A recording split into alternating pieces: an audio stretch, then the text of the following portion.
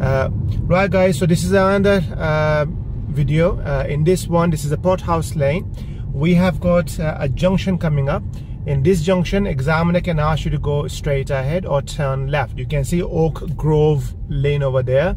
We treat this as a close view because you cannot see who's coming from the left. I am going straight ahead. Because i'm crossing over two lane i would stop my car here i would lean my body forward and look at my left as well in case of anybody left coming so you can see all these cars are coming this black car is coming who's also giving no signal means it's going from front of my car I have to look at my left as well.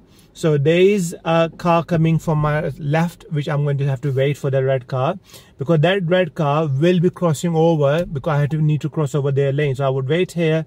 I would let this red car go first. And then when it's safe, then I would go. So there's nobody coming from my head, but there's another car from the left is coming up. So I would let this white car go as well. You're to see this in a minute. There you go.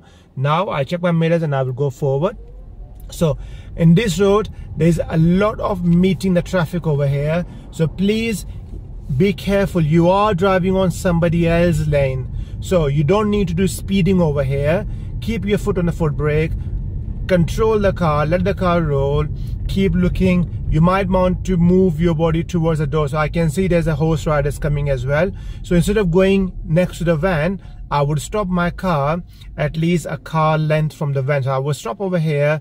I would let this white van go past. Once the white van go past, I will check my right mirrors and I will go around nice and gentle and I will go uh, nice and slowly over here. There's a car coming in. Now I'm committed and there is no such gap. So instead of me pushing anywhere, I might have to stop in the middle of the road. So once I stop, the car goes over there and now I will go slowly. Now a lot of people, they think they have to, when the car is coming, push towards more left. You don't have to as long as you can maintain one meter distance from the parked cars that is fine as well. Okay so i hope those small videos i'm making for you uh, should make you help on your uh, prepare for your test as well. Thank you